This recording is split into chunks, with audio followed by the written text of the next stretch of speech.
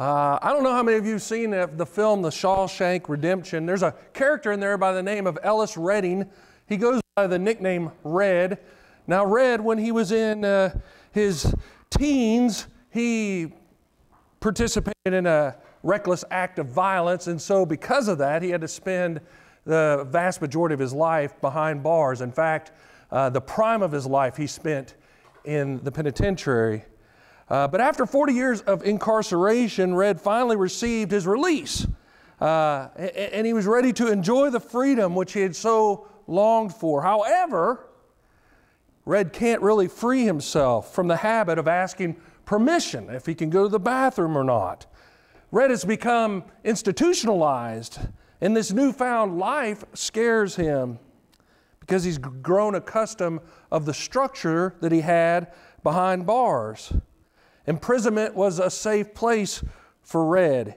He didn't exercise any of his own decision making skills there. Someone told him what to do, when to, when to eat, when to go to bed, where to go. He never had to exercise any decision making while incarcerated. In fact, that was the most daunting and terrifying part of being released. It wasn't incarceration that terrified him, it was freedom that terrified him. In fact, in the movie, Red confesses that he had contemplated various ways in which he could break his parole and go back into the security of his prison cell. And he summed up his dilemma like this He said, It is a terrible thing to live in fear. Now, I bring that to your attention because people caught up in legalism are no different than red. They are scared to death of the freedom that grace brings them. It's much easier for them to retreat into a cell of do's and don'ts, into a cell of black and white categories. But the church, we should not protect people uh, uh, from those decision making skills. We should not protect them by erecting walls of legalism. Instead, we should release people and equip them to discern godly choices for their lives.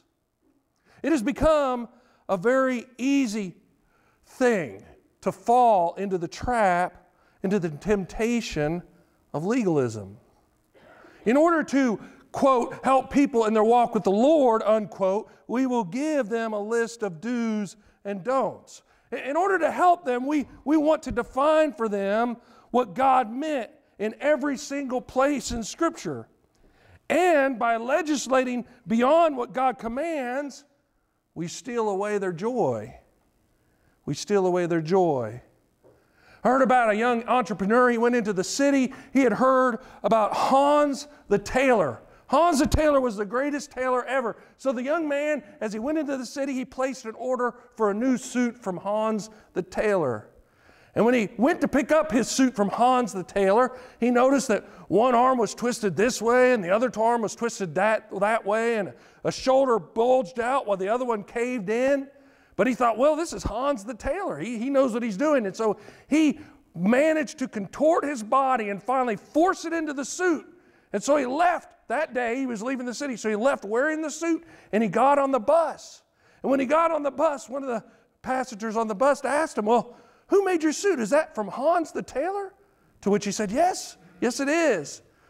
The young man said, Well, I'm amazed. I knew Hans the tailor was a good tailor, but I could not believe he could fit a suit to fit your contorted body like that. to, fit, to fit how contorted you are. He was able to do that. You know what the problem is? That's exactly what we do in the church far too often. We get some idea of what the Christian faith should look like, and then we push and shove people into the most grotesque uh, configurations until they fit in wonderfully. but the problem with that is that's death. It is wooden legalism that destroys our soul. Legalism is easy. It's just something we fall into. It's something we like. We, we like to know exactly what to do all the time, and so we fall into it. But the problem is, it's destructive, destructive for the soul. Today, we're going to look at legalism and how far it can take us away from God in the wrong direction. How far it can move us from the path God wants us on and move us in a direction He really didn't want us to go on in the first place. In fact, we're going to look at how it can make us miss the entire point of the Christian walk itself. So if you have your Bible, turn with me to Mark chapter 7.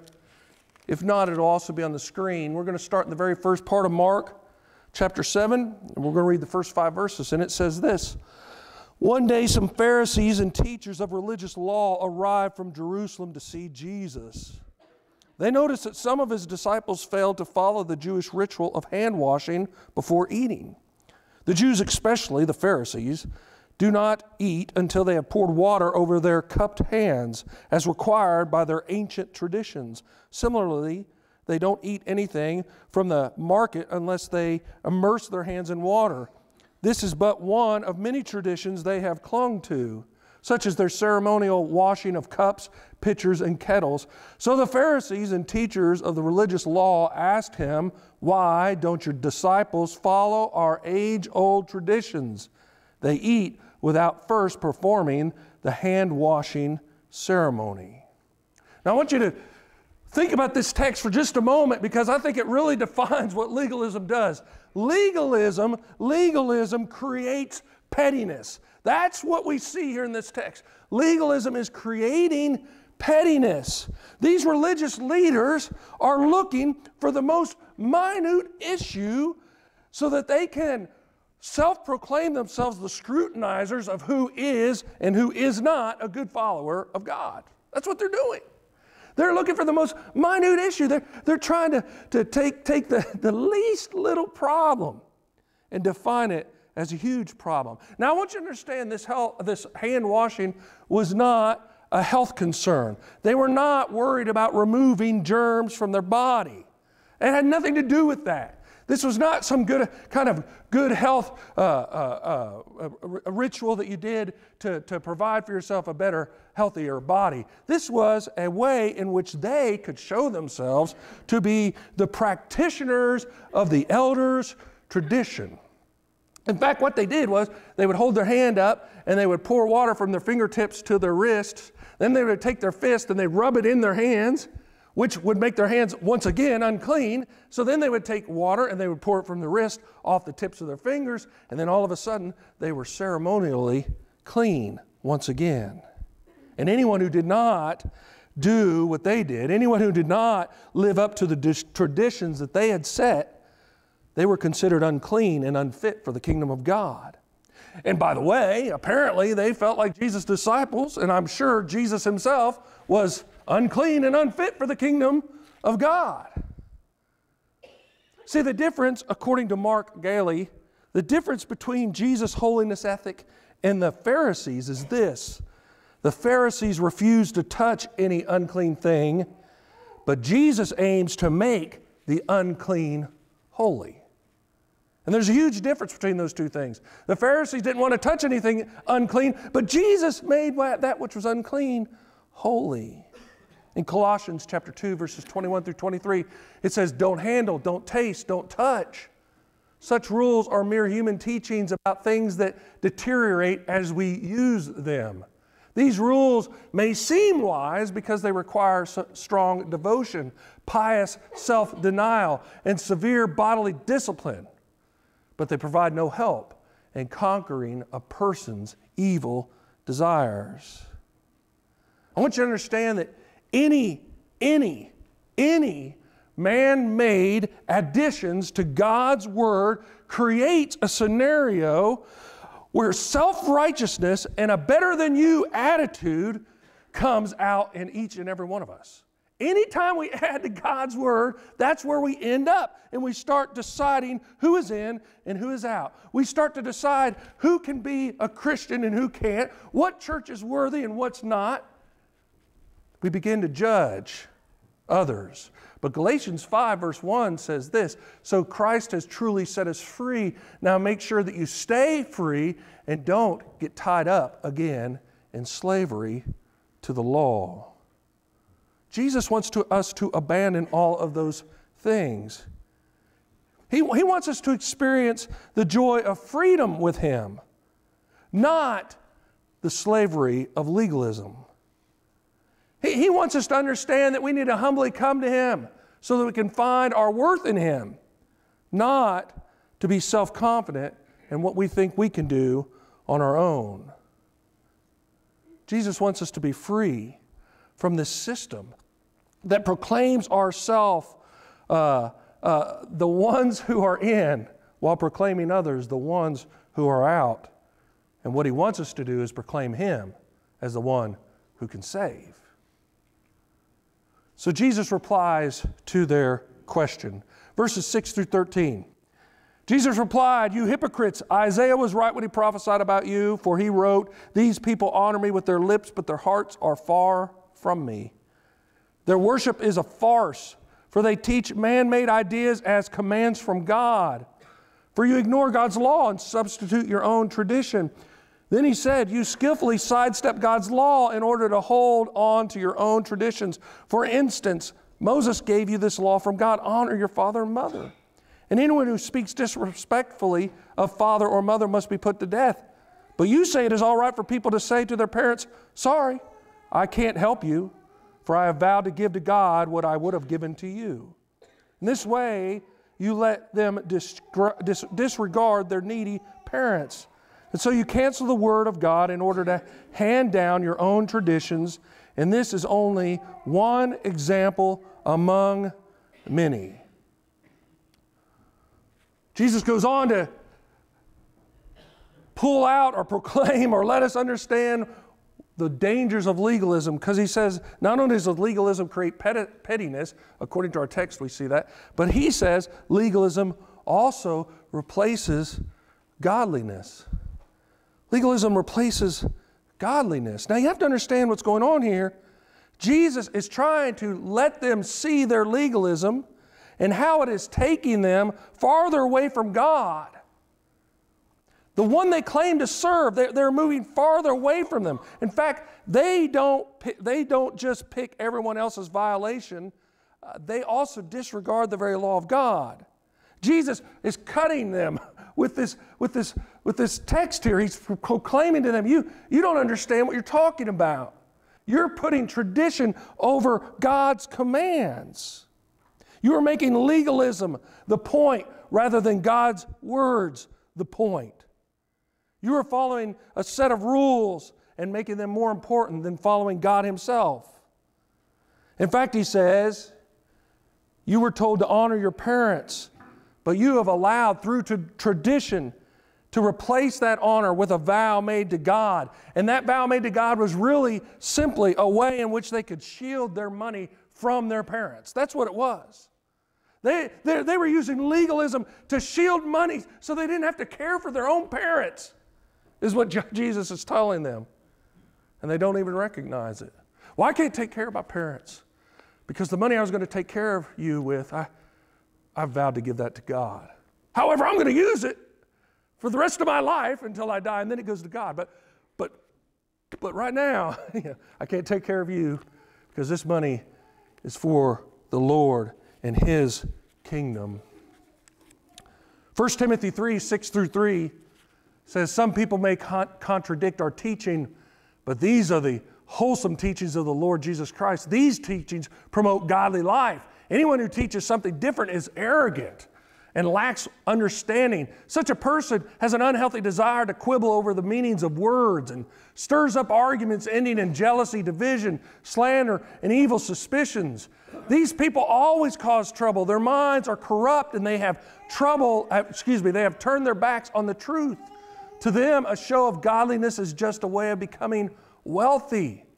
Yet true godliness with contentment is itself great wealth. They've allowed the show to replace godliness. They've allowed the show to replace godliness. John Ortberg reflects, he says, conforming to boundary markers too often substitutes for authentic transformation. He said, The church I grew up in had its boundary markers. A prideful or resentful pastor could keep his job but if ever the pastor was caught smoking a cigarette, he would have been fired. Not because anyone in the church actually thought smoking a worse sin than pride or resentment, but because smoking defined who was in our subculture and who wasn't. It was a boundary marker. He says, as I was growing up, having a quiet time be- became a boundary marker, a measure of spiritual growth. If someone had asked me about my spiritual life, I would immediately think, have I been having regular and lengthy quiet time? My initial thought was not, am I growing more loving toward God and toward people? Boundary markers change from culture to culture, but the dynamic remains the same. If people do not experience authentic transformation, then their faith will deteriorate into a search for the boundary markers that masquerade as evidence of a changed life. I read that and I wondered to myself have we set up boundary markers? Have we set up things that we have allowed to define us as Christians and in so doing replaced godliness? For instance, do we ever think, well, you can't be a good preacher if you're not wearing a coat and tie? Do we ever think to ourselves, well, you know, you can't really worship, at least not the way God wants, unless you worship this way or that way? Have we ever thought to ourselves, you know, hey, God is looking down, and so in order to please Him, I need to attend service more than serve others? That, that, we decide attendance is more important than serving others. Have we ever decided that, you know, it's, it's more important to, to know God's Word than to love others? And so we put a premium on knowledge over love itself. Legalism has a way of blinding us to how legalistic we have become. It becomes look at what I have done rather than look at what God is doing through me. 2 Timothy 3 5 says, They will act religious, but they will reject the power that could make them godly. Stay away from people like that. Stay away from people like that. Jesus says, Your, your legalism isn't just showing up in your pettiness, your legalism is showing up in you just essentially disregarding the very commands of God. But Jesus goes on. 14 through 23, he says, Then Jesus called to the crowd and to come to hear. All of you listen, he said, and, there, and, and try to understand. It is not what goes into your body that defiles you. You are defiled by what comes from your heart.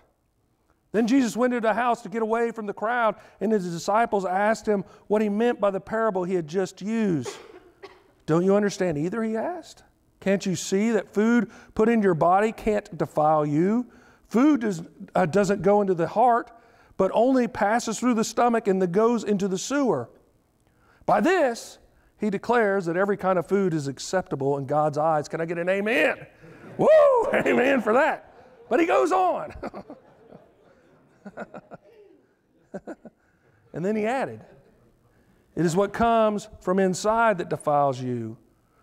From, for from within, out of a person's heart, come evil thoughts, sexual immorality, theft, murder, adultery, greed, wickedness, deceit, lustful desires, envy, slander, pride, and foolishness.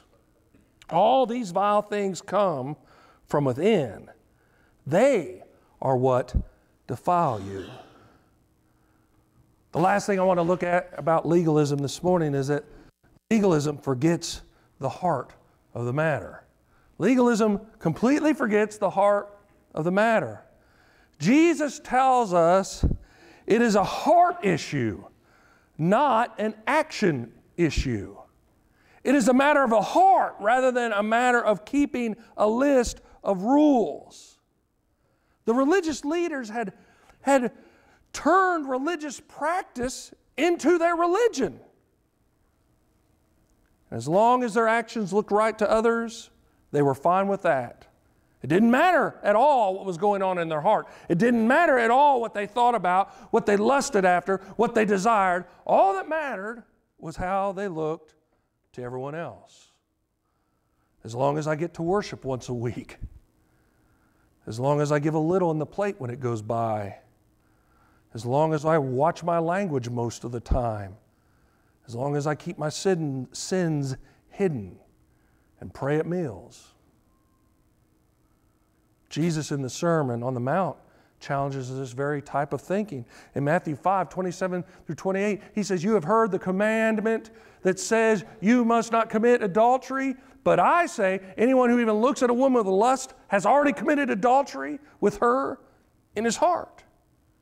Jesus transforms things. He says, It's not just what you do, it's also the motivation behind what you do. It, it is what's inside of you and what you do. It is the desires of your heart, even if you don't act on them. But if you dwell on them, that also needs to be looked at. It is a heart issue, not just an action issue. Kyle Idleman says Imagine you're, at a, you're out on a hike on a beautiful spring day and you come to a creek, but there's something wrong with the picture. You notice that someone has dumped trash into the stream. An ugly sight. Judging by some of the empty soda cans and trash, it's all been there for quite a while. In fact, there's this ugly film on the water. You, you can't just leave it. You, you have to do something about it. So you stoop down and you begin to gather up the trash. It takes several hours before you can even begin to see a difference. It's amazing how much junk was in there. You sit back and you rest for a moment and you realize you'll have to keep returning each day until you can, to, uh, to this site till you can truly clean it up. But when you come back the next day, it's as if your work had been undone. In fact, there's more trash there now than before. Somehow, the garbage bred overnight. You think about the unlikelihood of someone coming in to this very spot to dump their garbage in the few hours while you were away and you realize that something smells fishy, so to speak. So you begin to follow the creek upstream. And sure enough, you come to a garbage dump that has been there for years and it's emptying into the passing creek. Your cleaning job only opened a gap for more stuff to settle into. You could come back day after day after day, but you would never get it clean. If you want to clean the creek, it means going directly to the source and dealing with it there. And then Kyle Idleman says this. He says, The point is this according to the Bible, your heart is the source from which your life flows. Unfortunately, we spend great amounts of time, money, and energy, even in the church, doing trash removal downstream. But real transformation begins when we travel upstream to the source of our heart. Our real battle takes place in the heart.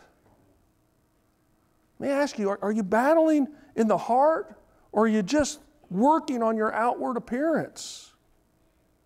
Ha, have you boiled Christianity down to a checklist of things to do? Or is it something you want to do, desire to do, love to do? Is it, I want to be at worship as much as possible, or I have to go to worship?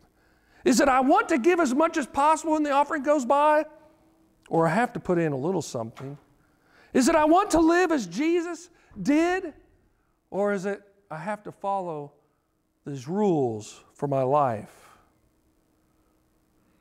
Mark 12, verses 29 through 31 says, The most important commandment is this Listen, O Israel, the Lord our God is the one and only Lord. And me, you must love the Lord your God with all your heart, all your soul, all your mind, and all your strength. The second is equally important love your neighbor as yourself. No other commandment is greater than these. It is a heart issue, not just some kind of religious ritual.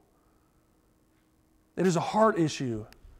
You should be obligated to God because you love God. You want to please God. You want to serve God, and you have given Him everything about yourself, not because of some kind of religious ritual that you want to participate in to make yourself look good. So, what are we as Christians, what are we as a church to do? Can we have no requirements?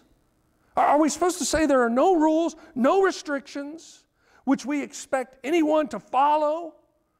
Are we supposed to say, hey, we're not worried about what anyone does at all? The Restoration Movement, from which the Christian church sprang out of, had a couple slogans I really like. And I think they apply here. The first slogan is this where the scripture speaks, we speak. Where the scripture is silent, we are silent. I think that's such an important script or a slogan to understand when you're looking at scripture. If God's word says it, then you do it. But if God's word doesn't say it, then it's up to you. Well, I'm not going to speak where God's word doesn't speak. And I don't expect anyone here to do that either. But where God's word speaks, we better speak. The second one is this in essentials, unity, in opinions, liberty, and in all things, love. I think what a great, great slogan. Where God's word says it essentially, we'll do it because we're all unified on God's word. Where it doesn't say it, we'll give you the opinion, we'll, we'll give you your opinion and, and respect that. But over all of these things, we're going to love one another. We're going to help one another. We're going to move with one another toward what God wants us to be. As good as those two slogans are, there's actually a better place to find our answer. It's found in Jesus and it's found in John 14 10. And Jesus says, The words I speak are not my own, but my Father who lives in me does his work through me. That's really where we need to be. God's word is what we will stand on, live by, trust in, boldly proclaim. Anything that a legalist adds, we will cut away because God's Word is the only thing that saves and the only thing that creates us to be the godly people He wants us to be.